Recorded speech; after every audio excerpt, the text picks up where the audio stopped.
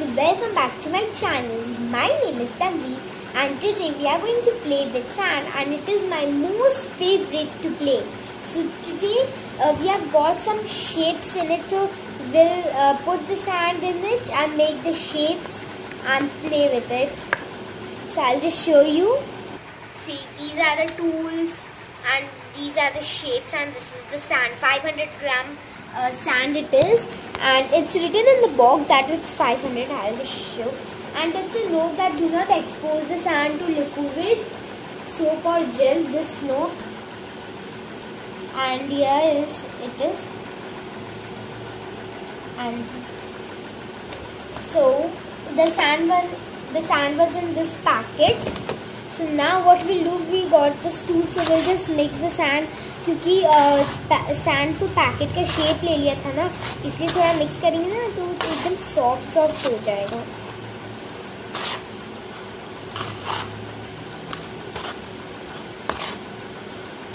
ये देखिए।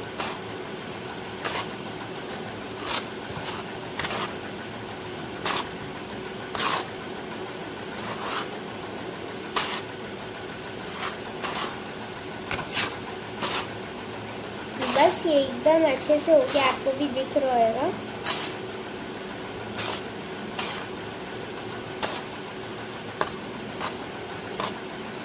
देखिए। और अगर आपको सैंड में कोई भी गंदगी दिखे तो आप उसको तुरंत निकाल लीजिएगा।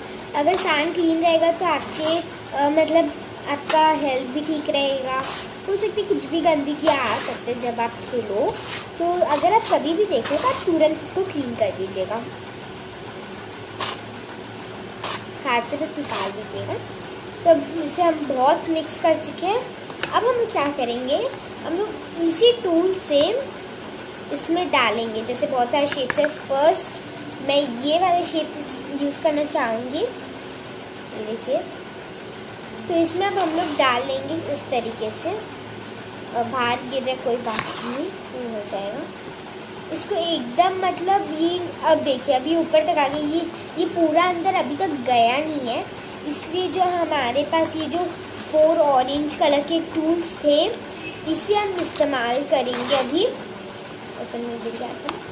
तो हम यूज़ करेंगे ये वाले जिसमें ये है। इससे क्या होएगा? इससे हम एकदम ऐसे ऐसे करके दबाएँगे तो आप देखेंगे सैंड बहुत अंदर जा रहा है। क्योंकि हम लोग बहुत कम सैंड डाले अगर हम लोग ऐसे डालेंगे, वो ऊपर तक आएगा ही। इसलिए आप इसको इस तरीके से प्रेस करें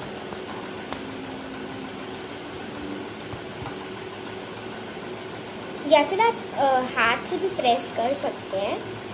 थम से, जैसे इस तरीके से। ऐसे। अगर आप हाथ से करोगे तो जल्दी होएगा। क्योंकि टूल से क्या है थोड़ा टाइम लगता है। अब मैं आपको दिखाती हूँ इसमें देखिए कितना जगह था कि सार, ये जो सैंड हमने डाला कितना अंदर गया।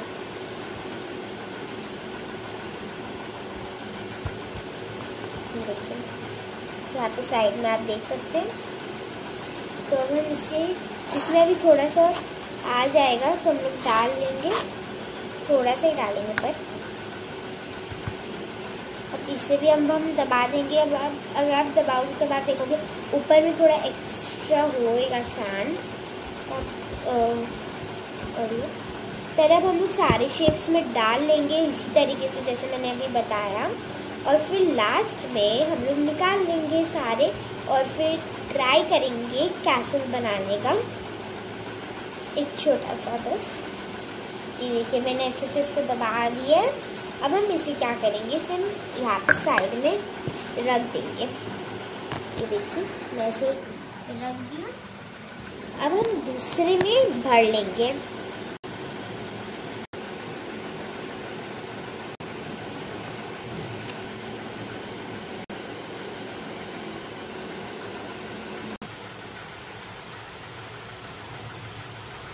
ये मैंने थोड़ा सा सैंड इसलिए बचाया ताकि जब हम शेप्स ओपन करें तो उस पर थोड़ा सा ऐसे स्प्रिंकल्स टाइप कर दे।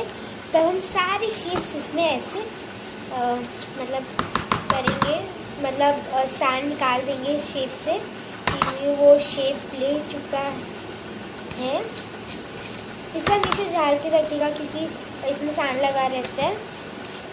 जब आप कुछ भी डालते हो या करते हो सबसे पहले हम करेंगे ये वाला। आप ऐसे कर दीजिए और फिर थोड़ा टैप करिए और फिर धीरे से उठाइए।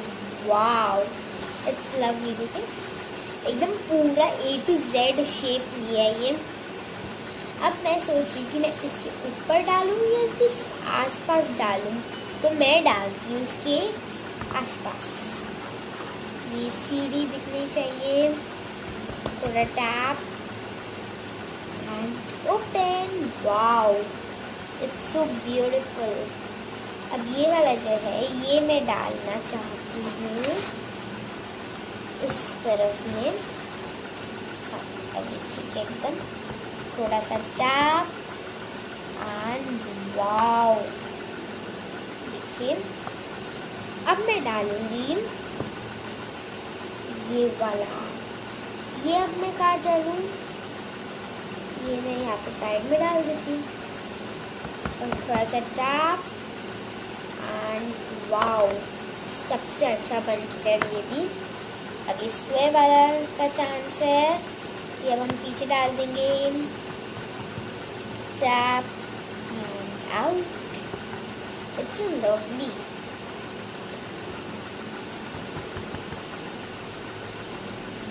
कितना क्यूट छोटू सा है अब ये वाला मैं सोची इसी के ऊपर डाल दूँ पर मैं नहीं डालूँगी, मैं इसे सामने डालूँगी। ये छोटा सा बेबी है। और फिर लास्ट बेबी हम लोग का, वो भी सामने में।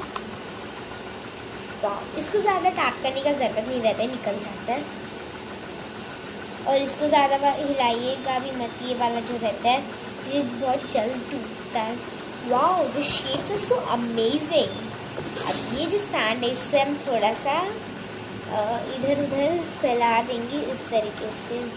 मतलब ये जो हम लोग ने कैसल बिल्ड किया है आई मीन वैसे वाला बिल्ड नहीं किया मतलब शेप्स तो निकाले हैं ना?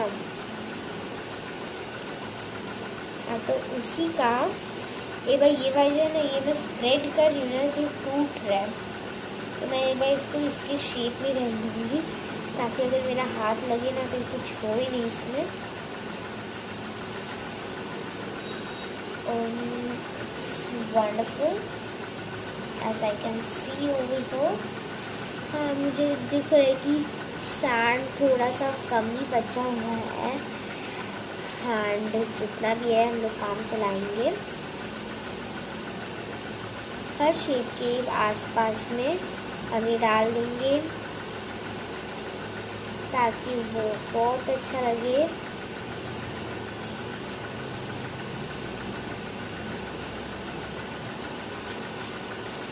हमारे सब शेप्स के आसपास बस ये वाले शेप्स के आसपास नहीं था। यहाँ पे थोड़ा सा थोड़ा सा यहाँ पे।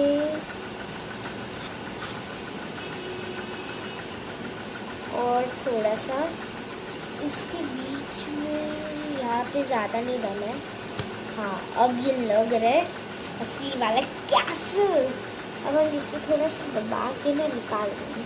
और ये फिर भी थोड़ा परफेक्ट लग है। मैं आप लोगों को दिखा देती हूँ। इसे ऊपर से इसमें गिर गया था।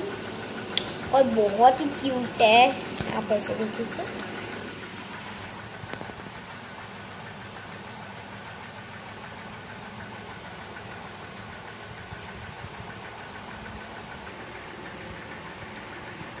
बहुत ही प्यारा लग रही है।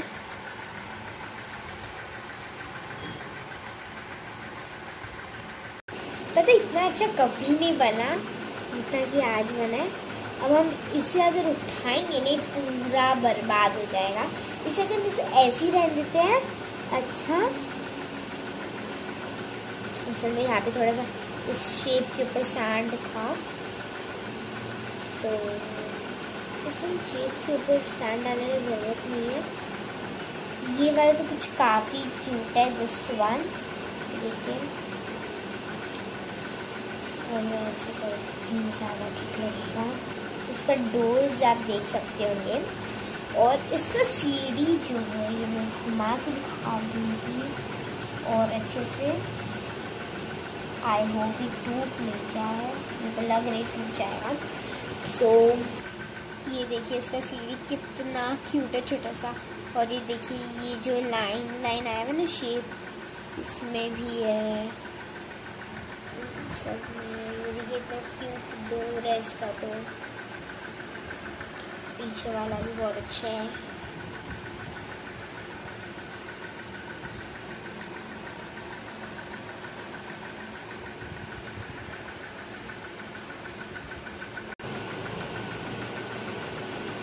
My castle. It's so nice. My wonderful and beautiful castle is ready.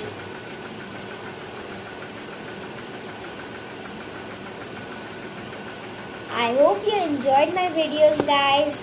Bye and please like the video if you like this playing of sand and please subscribe to my channel.